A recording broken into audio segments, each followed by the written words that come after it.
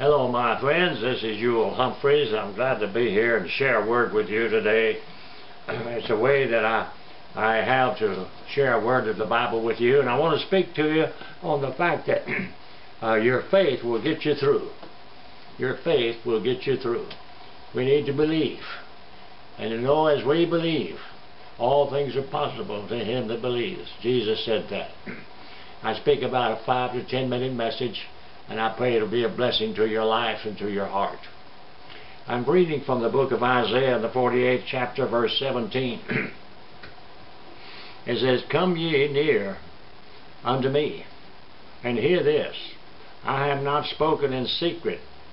No, but from, uh, from my own, since the time that it was there, I am. And now the Lord God has called you. Thus saith the Lord, thy Redeemer, the Holy One of Israel. I am the Lord, your God, which teaches you to profit, and which leads you by the way that you should go.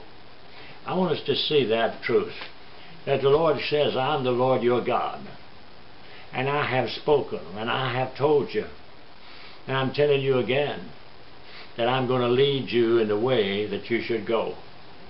I'm speaking to some right now, and you're wondering just what decision to make, just what direction to go, just what what uh, uh, decision you need to make. But the Lord God will show you. He will help you. The Lord God will help you to find a way when there seems to be no way. He is there to help you. And He wants you to believe that. Believe and you will receive. Believe and you will live. And you will be victorious and you will go on. And God will make a way and that way is right because God is love. And He cares for you. And He said, I'm going to lead you in the way you should go. So you need to just turn everything over to Him as best you can. It's not always easy to turn loose of self, but it's something we need to do every day. Turn loose of self and turn to God. Turn, turn loose of self, take hold of God by faith. And believe His word when He said, I will help you and I will lead you in the way that you should go. Believe that and know its truth and God will help you find that way. God loves you very much and He's here to help you. We need to find the, the truth in the Word of God. Over in 1 Timothy, the second chapter and verse 15 it says, Study to show yourself approved to God, a workman that needs not be ashamed, because he's rightly dividing the word of truth.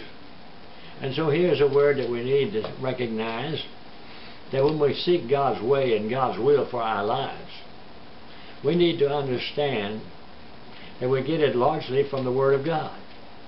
Study to show yourself then approved of God, a workman that no need not be ashamed, but rightly dividing the word of truth.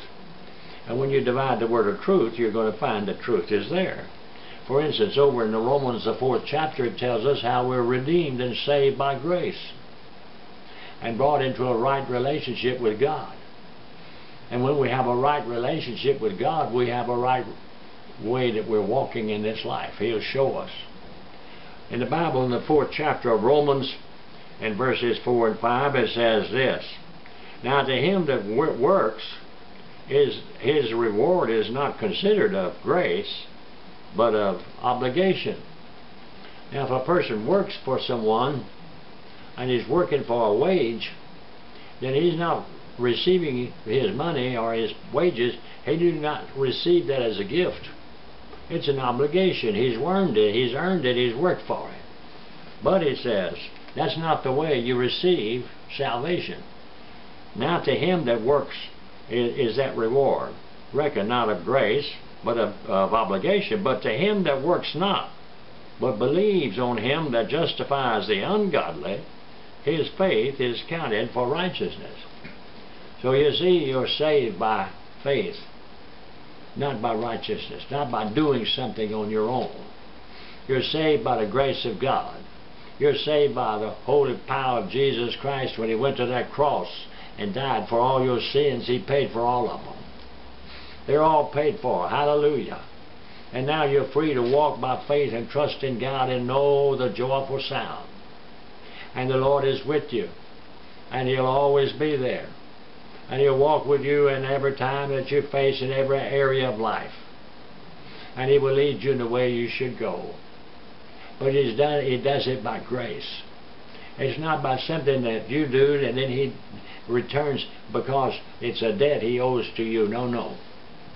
He does it by grace. That's a gift. And the gift is the righteousness of God. God gives you the, His righteousness when you believe in Jesus. Believe in Jesus Christ, the Bible says, and you receive the righteousness. For in 2 Corinthians, the fourth chapter, it says, or fifth chapter, it says, For he, Jesus, was made sin for us, that we might be made the righteousness of God in him. And so you see, you have the righteousness of God when you believe. I want you to pray a brief prayer with me and ask God to forgive you, Jesus to come in your heart. And you'll receive the righteousness of God. And that's important. That's important. Pray this prayer like this. Say, Dear God, please forgive me. I do believe in Jesus. I believe He died for me. I believe He rose again. I believe He's coming back. Come in my heart and help me live for you as the Lord of my life. Do that and you'll live forever. And you'll have the righteousness of God. Hallelujah, the righteousness of God. I want you to know that. And that's what we need to know. And as we receive that, we receive the glorious truth that God is there to help us. And so we need to study to show ourselves approved unto God.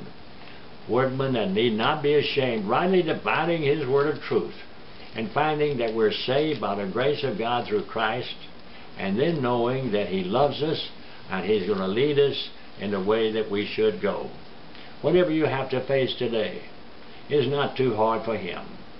Live by faith today, and you'll never worry about tomorrow. Live by faith and know that God is there to help you now, and everything is going to work some way to the pleasure of God and to your own good.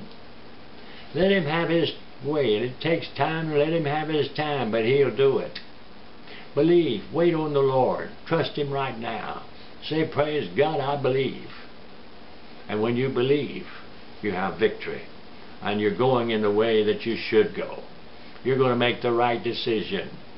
You're going to make the right choice. And God's going to lead you in the way. Because He's good, He's great, He's wonderful God. And He loves you very much. Cast your care on Him, for He cares for you. Love Him because He loves you. Love others because God loves you. And so we find the answer by faith. By faith. I am the Lord your God. I am the Lord your God. And I have called you.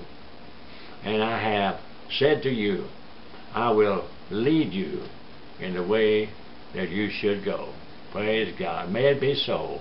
In Jesus' name, amen.